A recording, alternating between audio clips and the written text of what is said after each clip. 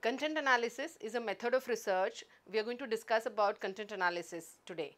As we are all aware, research is a process by which we examine a phenomena, explore a phenomena, describe a phenomena or try and understand a processes that are happening in the process of any phenomena. Uh, today we are discussing content analysis. Content analysis is a method of research by which we examine the content of communication most often but we need to understand that that content analysis is used by varied disciplines across uh, social sciences and arts and humanities also. Content analysis is examined by uh, media and communication studies, by journalism, history, literature and rhetoric, education, library and information sciences, marketing, ethnography and cultural studies, sociology and political science, psychology and cognitive sciences. Content analysis fundamentally refers to examining or analyzing the content that is being communicated. It also is known as message system analysis. When we talk about content analysis, various scholars have given varied definitions of content analysis. The more recent one and the most known one is by the Krippendorff. Krippendorff gives the definition of content analysis as a systematic reading of body of text, images and symbolic matters.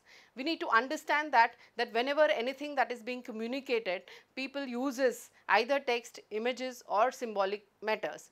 Uh, the another definition as you see there in the text is by the Babbie. It is also known as method of studying human communications. Kerlinger has given a, a definition of content analysis as a method of studying and analyzing a content or communication in a systematic, objective and quantitative manner for the purpose of measuring variables. Holsti has given a definition, uh, any technique of making inferences by systematically and objectively identifying specified characteristics of a message. As I told you, it is also known as message system analysis. So, the idea is to examine the message. The most known author with reference to content analysis is Berelson. He gave the definition which is considered as a base of lost, lot of definitions that eventually came. Uh, it, he defines content analysis as a research technique for objective, systematic and quantitative description of manifest content of communication. As we are aware, usually there is a manifest content that is visible and a latent content that we are not aware of. So, when we talk about content analysis, we need to understand that that content analysis is a research technique where we need to be using it as a method of research. But what is very interesting about content analysis as a method of research is that it is a very useful technique for understanding the content. So, it can also be used as one of the tool for data analysis when we are collecting any data with reference to our research, the tool that you have collected data with, the findings of your collection can be examined using a content analysis as a method. Because when you have respondents who has given you data which is usually in an open-ended uh, questions in response to the open-ended questions, you can take those responses and examine and analyze it in a more systematic manner unlike just quoting them as respondents questions because there can be lot of other content that respondents has given you as a researcher. Uh, also we need to understand that that content analysis is very useful in examining the collected data. It may be by a survey or any other method of research. As I told you that you might have a tool by which you have collected the data. The responses can be examined using content analysis. It also can be carried out now today when we talk about content analysis as a method of research. What is very interesting is that uh, machines also can do content analysis. Recently I came across a paper where a person has examined computer mediated data collection of screen images of male and female where the algorithms have been developed and they examine number of male characters and number of female characters and the sound pitch based on the sound pitch analysis they have examined how uh, number of uh, presence of gender in a given uh, film can be examined using a computer. So, you do not need a human coder to sit and uh, collect the data, but you can use uh, the computer. So, it is it's kind of very exciting method of research where one can examine content using variety of uh, content that we will be talking about now. We need to understand that that content analysis There are various types of content analysis that we usually talk about. The simplest and the most common one that we usually come across is also called word counting. When we talk about word counting method, a simple example that I can give you is take any piece of uh, written text and try and see how many times male has been written and how many times female has been written. So, by doing that we can very clearly say that that this particular text has given more importance to male as a word or how there is a gender in the words used. To give you a simple example how we use camera men and do not use camera person uh, or chairman and not chairperson. So, content analysis can actually help us understand the way we write content or the way text is written. So, as I told you the simplest method is the method of what we call space measurement or a word counting. Just to give you a context, when we talk about newspapers, how newspapers give more space to particular kind of news and less space to a particular kind of news. That can be done using a method of content analysis. The another way of uh, using content analysis is also called conceptual analysis. What we do in con content analysis using a conceptual method is where we can examine the underlying concepts in the given text uh, I will be talking about more examples. The, the other method is called relational or semantic analysis. Uh, semantic analysis or as you might have understood, semantics is all about science. So, semiology is the science of science. So, when we do content analysis using semantic analysis, we look at the way signs have been designed and examine it in the cultural or socio-cultural context in which the sign has been defined. The other way is also called evaluation assertion analysis. You might have an understanding that women's news get very less space in newspapers.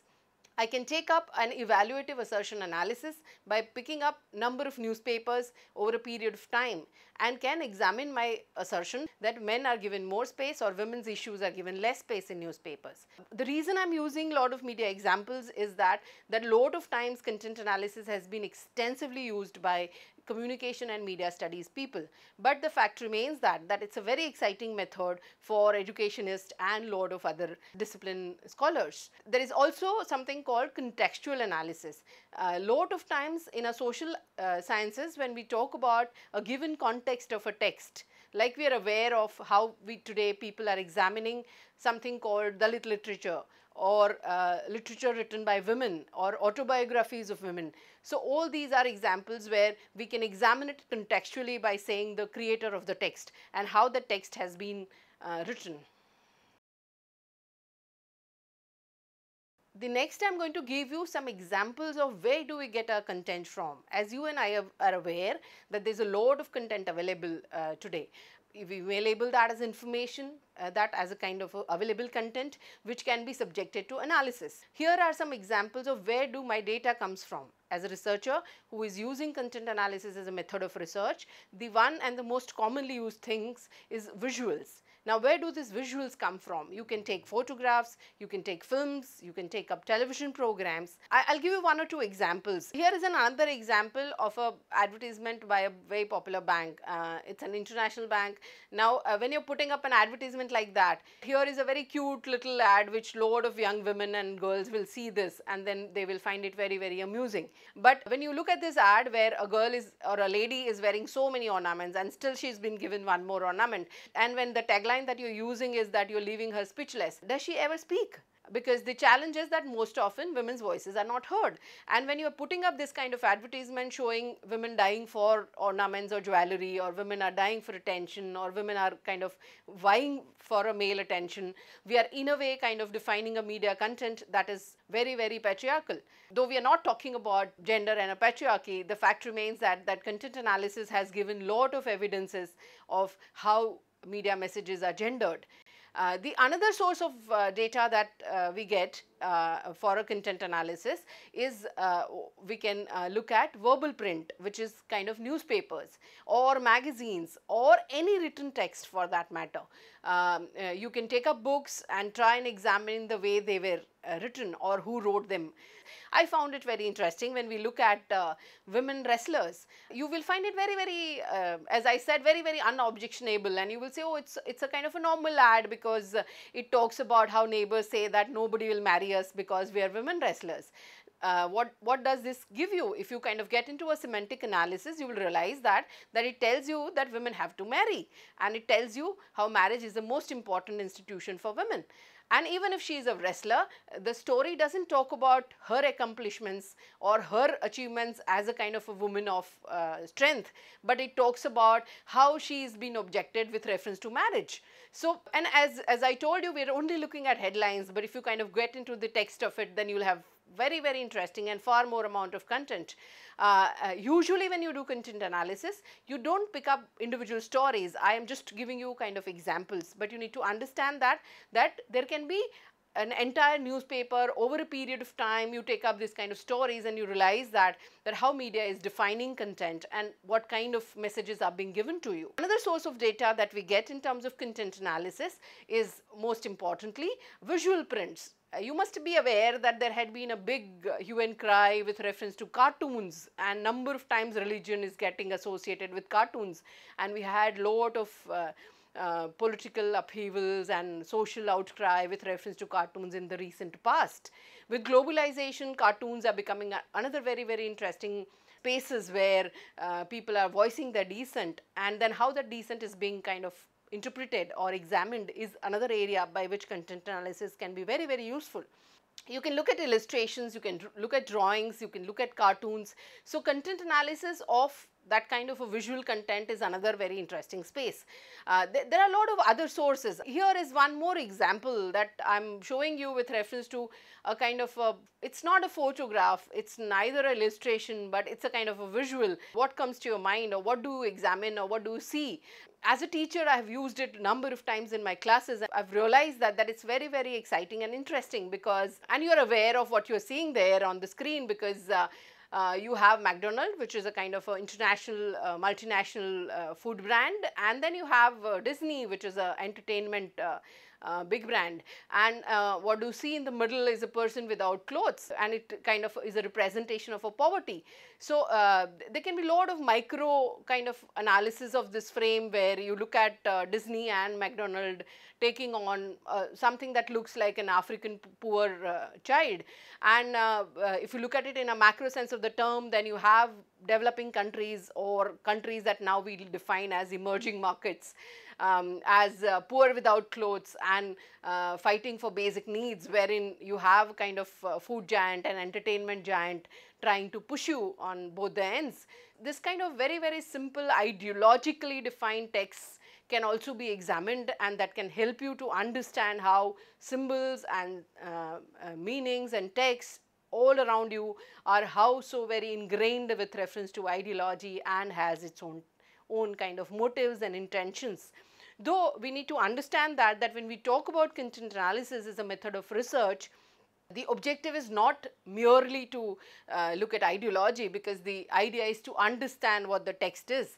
The another very interesting space for which your sources of data can come is personal documents. One can take up autobiographies, letters, one can look at official documents. Recently we all are aware that that the files were uh, available for public uh, view for Subhash Chandra Bose or uh, we are aware of Jawaharlal Nehru's letters to Indira. One can take on this kind of texts and try and examine how a father wrote to a daughter or what kind of issues were written. So, content analysis can help us understand apart from contextually or relationally the, the way the content was given in that particular time period and the person who created that content and it gives us lot of uh, ideas and information about that particular time and and an era that uh, one is referring to. The um, another interesting source of data that uh, we can look at is artistic productions. I have an example here to show you. There is a painting by uh, Raja Ravi Varma.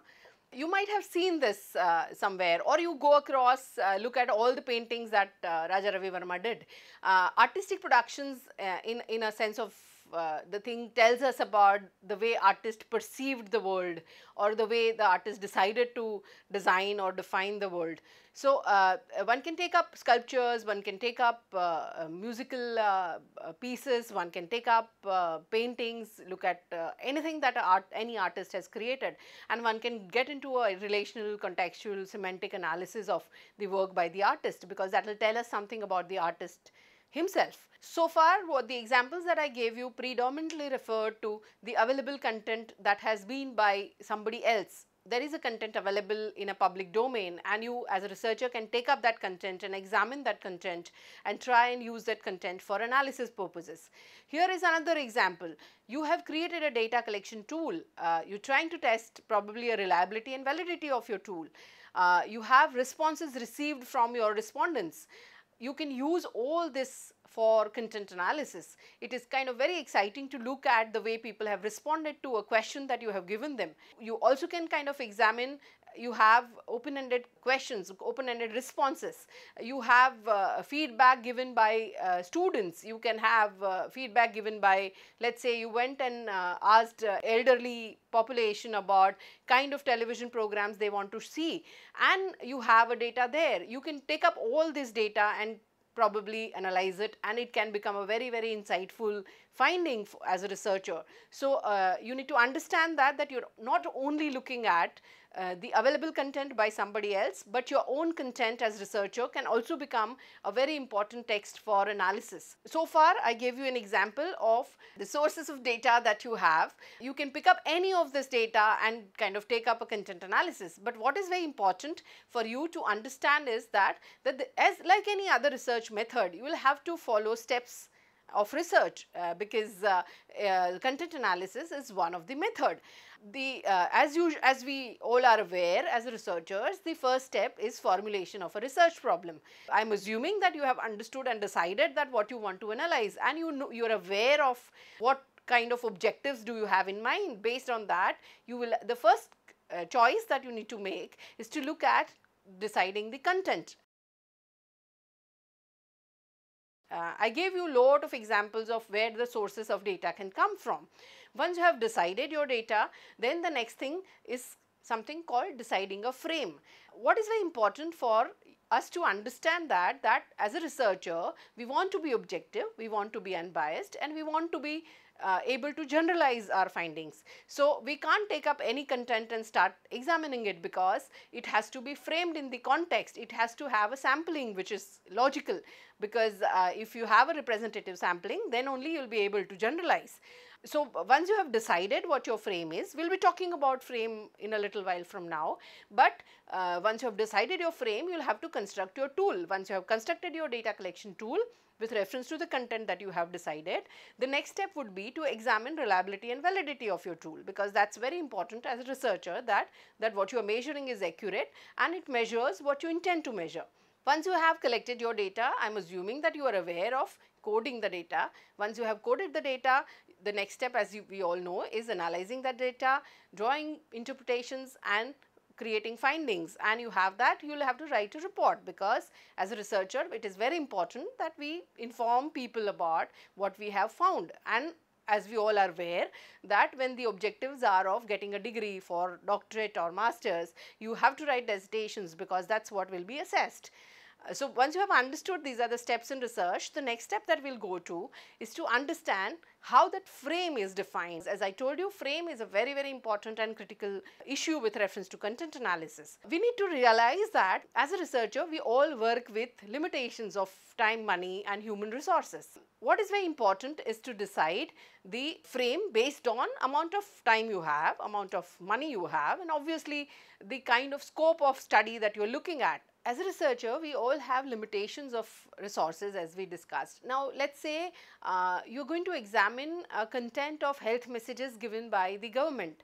Uh, you may have a lot of posters that uh, the health department or ministry of uh, um, health has come out with uh, and you want to examine that. Now, as you and I know, there can be thousands of posters that the government will publish in a given period of time it is not possible for you as a researcher to take all those posters. So, at some point you would decide in terms of how many, uh, what is the time period. You might probably take one poster of uh, previous year and one poster of this year and uh, then probably base your findings based on that. So, the framing is more in the context of the time that the content is, especially when we talk about as I gave you examples of media and communication because every day newspaper will be published, every day television programs are made. So, when you are deciding a frame, you need to realize that that you can't take all that is published every day. So, you might have to decide a frame.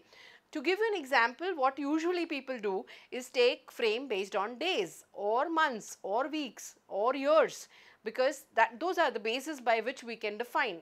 Just to give you an example, my students decided to examine uh, representation of women in newspapers and when it came to framing they decided that they will take one week before 8th March and one week after 8th March. As you are aware 8th March is an International Women's Day. What was very interesting and as we all would assume that that would happen is that the week before the 8th March had lots of news about women where that was not the case post 8th March. Probably it came once or twice because of the celebrations of the programs that news that came later on. But suddenly you had a fall in women's uh, news in uh, newspapers because the 8th March was over. Um, similarly, if I kind of decide and now just assume that that you would decide a frame by mistake not looking at 8th March and you will collect a data and you will say oh women come in news lot of times. You do not look at the context by which why women are coming in the news.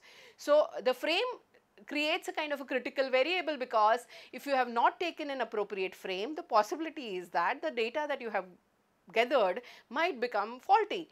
Uh, the another way to solve this issue is also create a representative frame.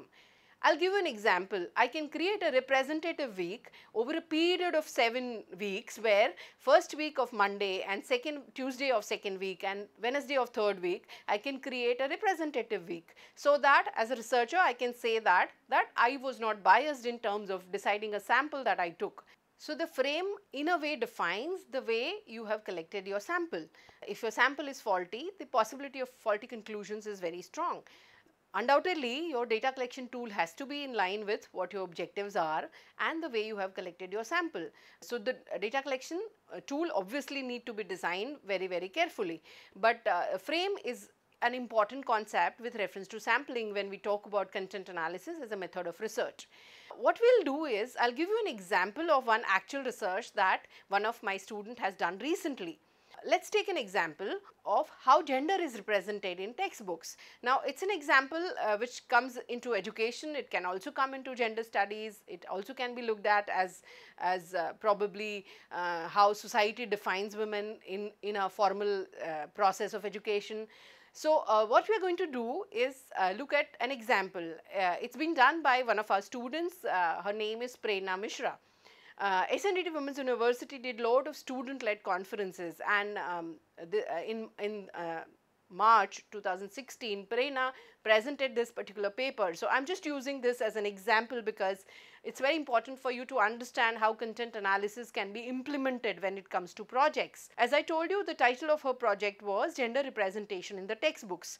What she did actually is that she took on two school boards that is SSC that is uh, State uh, School education certification and ICSE textbooks of English language because uh, one of the understanding that we were trying to explore was to is there is a difference in the way gender is represented in English language textbooks because when we talk about social sciences there has been a lot of work done by researchers about how caste and how class is represented in textbooks. Here the objective was to examine how English as a kind of global language is being represented in school textbooks. What Prerna did was she looked at three standards, first, fifth and sixth and she took a English language textbooks of two school boards and she did her sampling which was randomized. In terms of her procedure, what she did was that she took total 108 lessons from six school textbooks. As I told you, three standards, six textbooks, two school boards and then she did an, she designed a content analysis tool, she collected the data and she went in terms of analyzing it using uh, SPSS what the data analysis revealed is something very interesting. It's a kind of a larger project. I'm just giving you an example of how content analysis can be operationalized. Here is one of her findings which is a kind of a graph that uh, has drawn which talks about main characters in the lesson. Now what she has done is her unit of analysis is one particular lesson. So she as I told you she has taken 108 lessons. Uh, now when you look at a main character uh, in a particular lesson across two school boards, across six textbooks. It's very interesting for you to know that half of them had 55, this is slightly little more than half, were males and women were only in one fourth of the lessons obviously and there were very few uh, lessons where you had animals and cats and uh, all sorts of other characters which has been categorized as others. So you might say oh we always talk about women's equality we talk about half of our humanity is women. But when it comes to textbooks we don't see women there. Uh, and because we don't see women there when children grow up they don't want to rec recognize and acknowledge the fact that that women exist in the society though they accept them in their homes.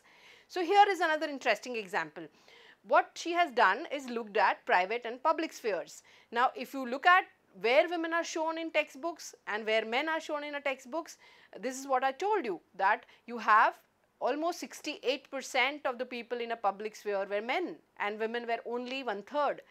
When we look at the people in a public sphere, the ratio of men versus women was 2 is to 1. So, you see much less number of women in a public sphere. So, that's and, and we are not talking about 17th century, we are not talking about 15th century, we are talking about 21st century school textbooks in English language and we are not talking about rural context, we are talking about these textbooks which get used across the country. So, these are kind of indicators of realization that that what content analysis as a method can help us understand the kind of content that we see every day in our day to day life. I gave you examples of newspaper cuttings and uh, the advertisements that you see every day, but you don't look at them critically or you don't realize that, that they are pushing you or they are bombarding you with a data that is not very, very equal in terms of gender positioning in the society. Also, what is very important for one to understand that how do we code the data because uh, if we talk about approaches to content analysis, we spoke about different types of content analysis as method of research, but when we look at a kind of content analysis as a method, then there are three broad approaches that we talk about. As you see here very clearly that you have something called conventional method which we talked about and we saw some examples in terms of space measurement and word counting. Uh, when we talk about directed content analysis where where you have some theory that has guided you and that has told you how to look at a kind of content. And there can be a summative content analysis which is more of based on the kind of keywords or based on the kind of the available literature that you have seen based on your review. What you see on your screen is the kind of differences in terms of how do we code differently and what are our bases for this coding. So we usually do conventional content analysis looking at an observation. So the idea is to we see around us and I gave you a lot of examples what I showed you were observational uh, examples. There can be a theory behind things and you can go back and look at your uh, literature very very closely and create your keywords and then you design your codes based on the theory. So that's the kind of a second approach by which you can examine content analysis. And the third approach is where we can derive the keywords based on our interest and based on the literature by other researchers and can use that for analysis. Once you have decided, once you have collected your data, once you have defined in terms of what kind of content analysis approach that you have used, you as a researcher has kind of options available that you can exercise. I'm assuming that you understand content analysis as a method of research, but as a researcher, as we all do and need to know, is that each method comes with some advantages and disadvantages. The same is the case with content analysis as a method of research. Here are some of the advantages of content analysis as a method of research. You don't have to go to the field because content analysis is a non-field design. You can sit in your room and sit at ho your home and probably sit in your classroom and examine the content which is already available so it, it uh, in a way a lot of uh, students who come to me sometimes feel it's very exciting but then when they start implementing it it becomes a critical challenge because each method of research demands certain kind of rigor persistence and sincerity apart from being a non-field design, content analysis can be carried out only on existing content. So, if you don't have that content, then you can't do the content analysis as a method. Assuming that as a researcher, you know what which content or what kind of analysis that you're looking at, content analysis can be very, very exciting design. It's very unobstructive design. Um, what happens in research is that when we go to respondents, collect the data from them, we are actually taking somebody's time. If we are uh, collecting, uh, under conducting experiments, then uh, again we are kind of interfering with the respondents. In content analysis, you're not getting into anybody else's domains. As a researcher, you have a content available and you are examining that content. So, that is kind of very, very unobstructive as a researcher. you don't need a lot of money to undertake content analysis because uh, uh, the content is already available. As a researcher, what you are putting in is the amount of time and effort in understanding and examining that content. So, it is much less capital intensive unlike a lot of other methods of research. Uh, many a times in a given situation that is the only method available to you. Let us say to take an example, uh, we talked about Jawaharlal Nehru um, his autobiography, his letters is the only thing that is available to you as a researcher to understand how he felt, what he wanted to communicate or look at Mahatma Gandhi. So, uh, a lot of times the available content is kind of a very important source of data and that can be used. And what is most important is that content analysis at a kind of a very less amount of uh, expenditure can give us a macro structure at a minimum uh, um, minimum cost because and at a maximum convenience in a way because uh, if you sit down and examine uh, my experiments with the truth, uh, it actually tells you a lot about uh, Mahatma Gandhi uh, without actually having spent uh, a penny. And it actually tells you about how he felt and what kind of context that he wrote his autobiography at that point in time. Um, but do not get very excited because there are a lot of issues also. Uh, there are certain disadvantages of content analysis as a method of research. Here are some of them. Lot of time content analysis as a method of research does not explain us why. Uh, it just tells us what it is. As I gave you an example, if we talk about uh, autobiography of Mahatma Gandhi, it tells us what Gandhi went through or what he wanted to tell us as a um, as a person, but it does not tell us why he wanted to write what he wrote because uh, as, as he is not available to us as a researcher. Content analysis is a kind of a descriptive design, it is not exploratory conceptually because as the uh, analysis is done of an available content, it is not possible uh, to uh, get into exploratory variables lot of times uh, it is restricted only to the available material and as, as, as we said it, it does not tell you why the content is the way it is. If you are looking at a particular filmmaker's film and examine that film, it tells you about what the film is, but it does not tell you why a filmmaker made that particular kind of a film or what he wanted to communicate because uh, there have been instances where researchers have come out with findings and interpretations of the content in the given uh, text and the people who have created those texts are not agreeing with those interpretations. So, that is another challenge that you have as a method of research because it does not tell you about what the intention of the text creator or the content creator was most challenging thing with reference to content analysis as a method of research is the issue of reliability and validity. As we are aware, we have to test the accuracy and the extent to which the measurement is done for any research method that we talk about. Now, when as an individual researcher where you do not have any other person and you are coding your data, the possibility and the challenge of coding it accurately is always there.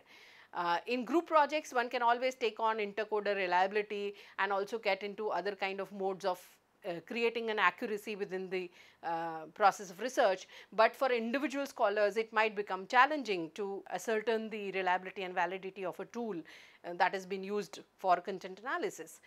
You also need to understand that when we talk about content analysis, lot of times we talk about textual content and therefore it is limited to people who are literate uh, undoubtedly one can take up uh, visual uh, text and then examine that and it can be of relevance uh, with irrespective of the academic educational levels. But uh, typically speaking when we talk about written content then we are talking about literate people. And there is also a very, very critical area of getting obsessed with numbers because when we look at kind of, I gave you an example of a textbook, six textbooks, and then we look at uh, um, the main characters or look at uh, reappearances of characters or we talk about where the characters are sitting. The possibilities are that we get into a number game and we lose out on the essence or lose out on the qualitative aspects. And therefore, in recent years as we are aware, there have been number of qualitative methods of content analysis which are we talked about in terms of uh, relational, contextual, semantic analysis. So, content analysis as a method of research comes with its bag of uh, things because it can have some very very interesting advantages and there can be certain disadvantages which uh, uh you have to be careful about. As a researcher when you take up uh, such kind of a, a, method of research um, it is uh, interesting and it is kind of time uh, consuming because uh, you will have to be very very meticulous in terms of your coding mechanisms and you need to be very very careful in terms of deciding your code categories because if your categories are wrong the possibilities of wrong interpretations always is there but it's a very very exciting method of research and I'm sure that uh, some of you would kind of always would have tried and probably try in a near future. So, I wish you all the very best for this method of research.